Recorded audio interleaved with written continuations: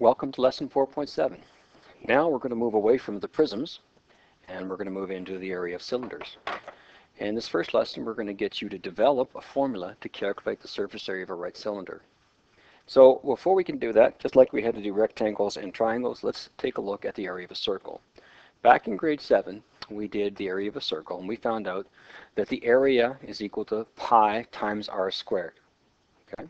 Now, in order for us to do this, we had to know what pi was, and you had to memorize that. So we know that pi is equal to 3.141592653 dot dot dot. And we can't put all that in your calculator. We could use a pi button, but some people would use 3.14 and some will use the pi button. So what we're going to do is we're going to have everybody start and use the same thing so all of our answers when we mark them will actually come out to be exactly what we expect them to be. If some people are using one thing and other people are using others, it won't work out.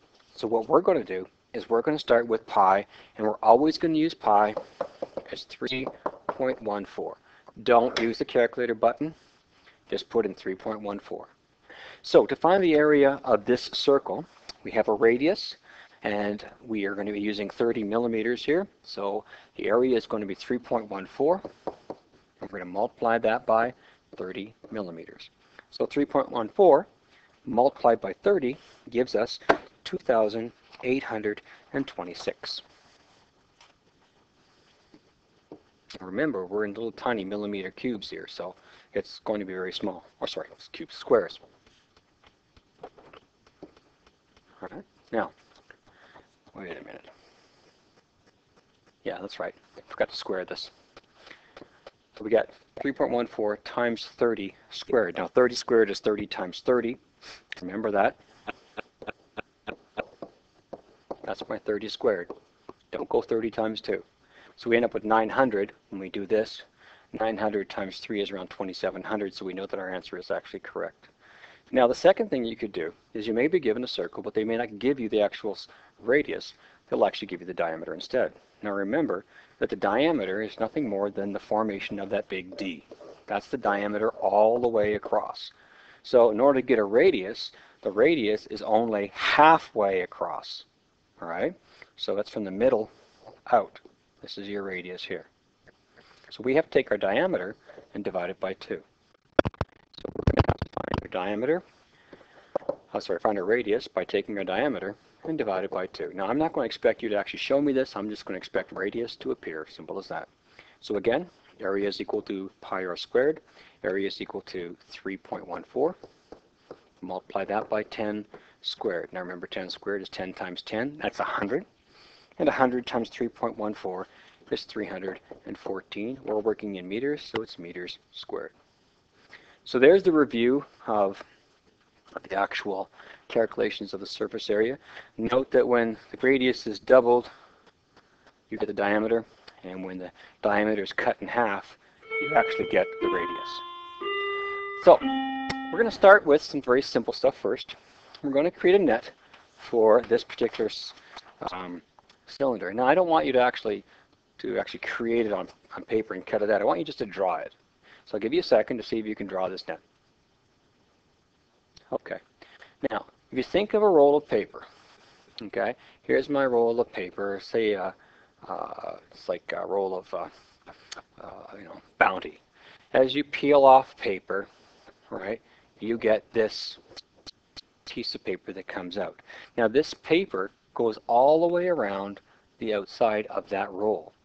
So if you think of it as the label of a soup can, that shape is a rectangle when you would peel it off and lay it flat.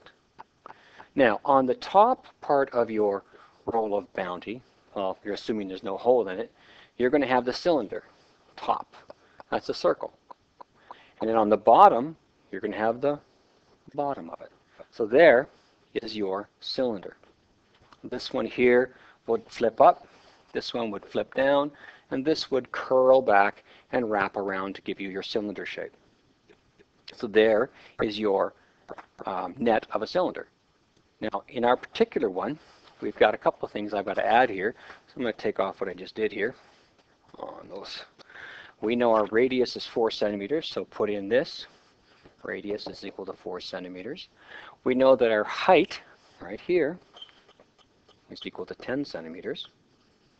And we know that the bottom also has a radius of 4 centimeters. So our goal is to find the surface area of the cylinder.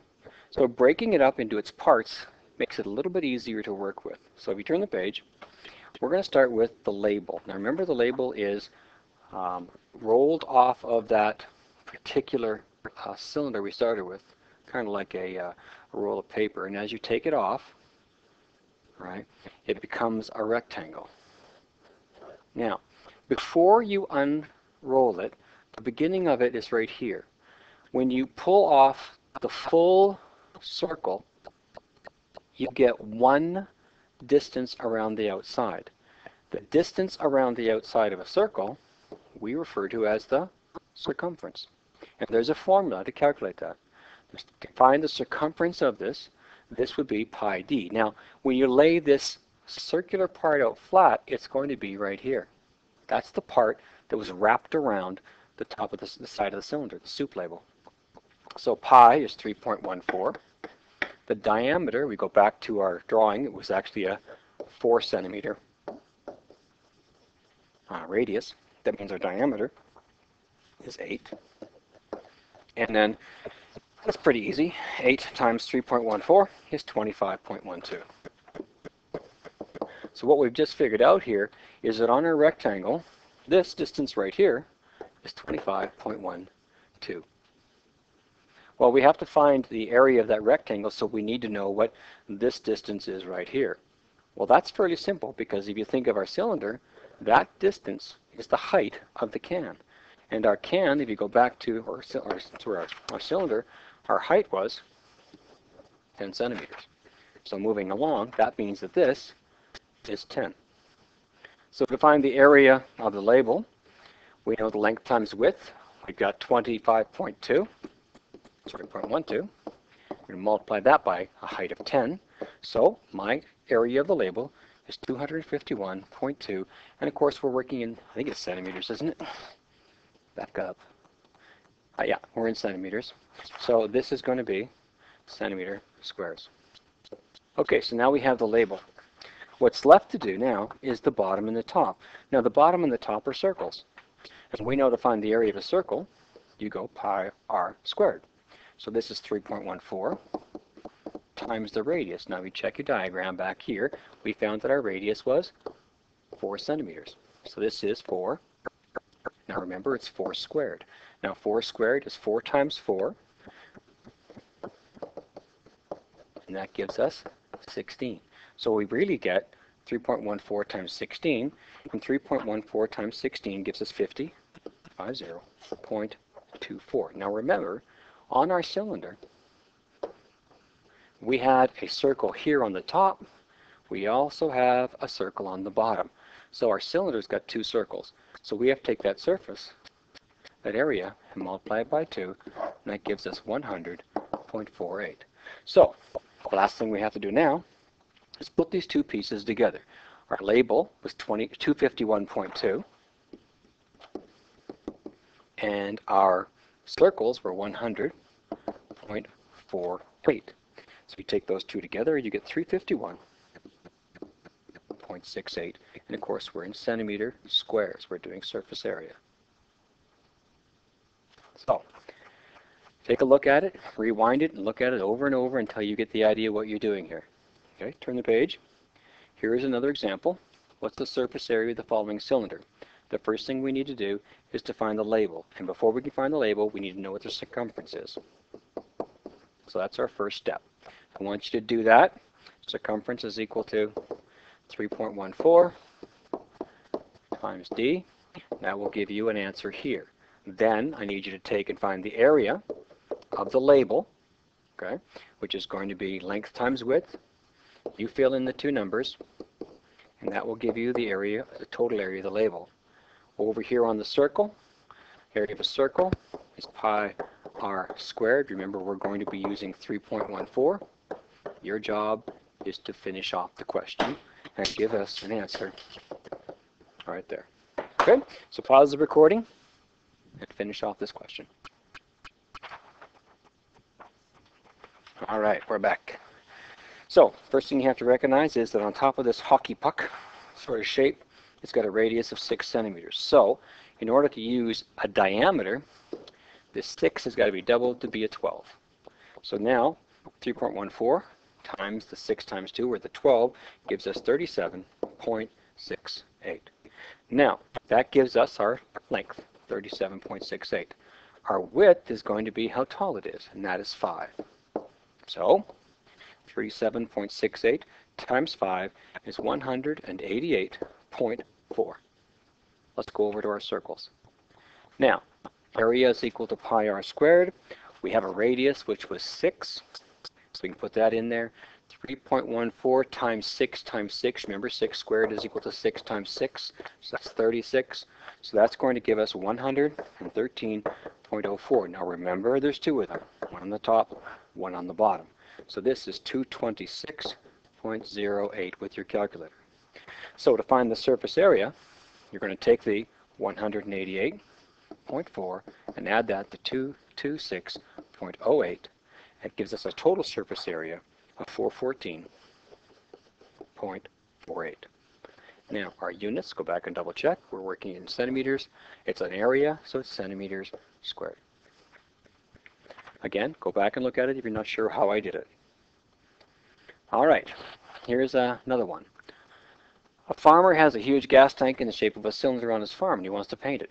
The, the tank has a diameter of 3 meters, a height of 4 meters. The tank is sitting on the ground.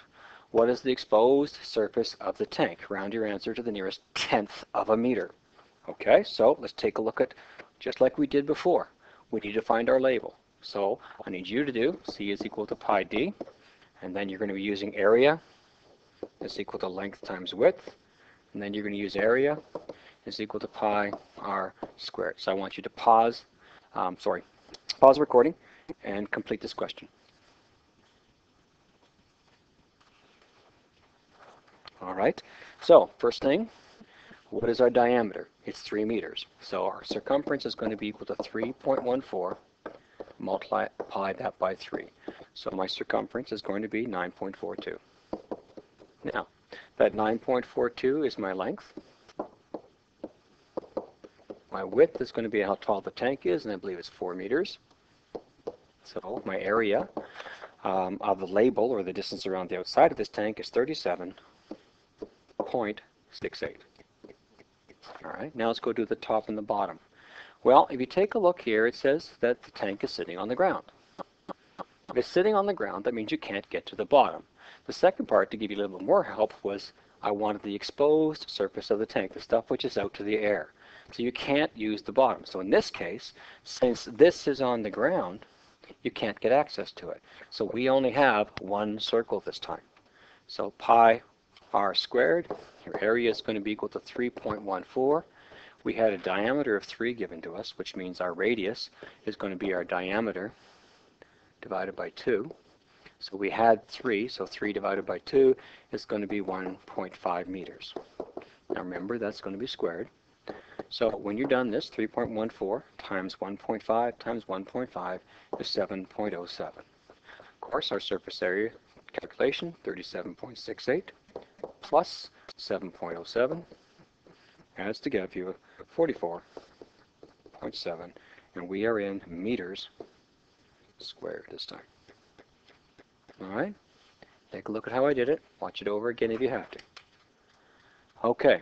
Now, you probably have realized that we've got the surface area of the label as a formula. The circle is also a formula. Well, if you have these two circles, and we have the label and a circumference, we should be able to take and put all of this together. And we can. So let's start with the area of the two circles. Since we know the area of a circle is pi r squared, and there's one on the top and one on the bottom, all we have to do is take our pi r squared and multiply it by 2. That gives us our circle. Now, because we're working in radiuses, um, there's a couple of variations on this. We can, uh, this is in radius, so I'm going to stay in radius for the second part. This is pi d, all right, times heights. This becomes pi d h.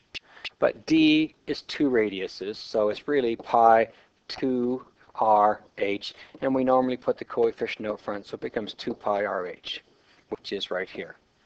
If you want to change that, you could have 2 pi r squared. You really can't do anything about that because you've got to square the radius.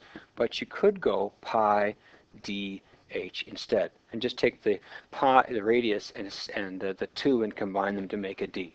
It's up to you how you want to do it, but in most of the formulas I give you, I'm going to give you everything in radiuses, so you stick with 1. So let's take a look at this works for our last question. We had an answer, which was 44.7. So this is what we need to find out. Does this equal 44.7? Well, you have a calculator, so this is where it's going to be kind of nice. All you need to do is take this big long formula and start putting in the numbers. Pi is 3.14. The radius was 1.5. Let me double check that before I screwed up. Uh, radius is, yeah, it was 1.5. And that's going to be squared. Plus 2 times pi, which is 3.14, times r, which is 1.5, times the height, which was, uh, what I have here, 4.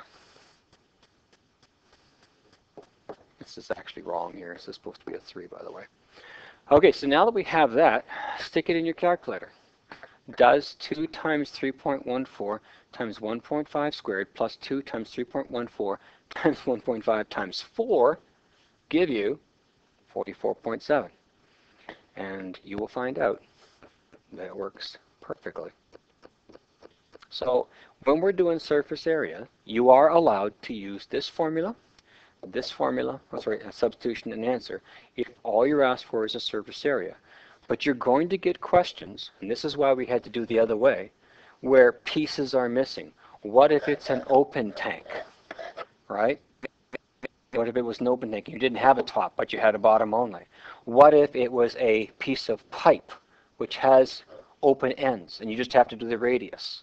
or sorry, do the, do the, uh, the label. There's a lot of different variations here. So knowing how to do all the pieces is an advantage. But let's not be silly. If we can use a formula to speed ourselves up, let's use it. So if you read right here, it says you're allowed to use the formula when the total surface area is requested.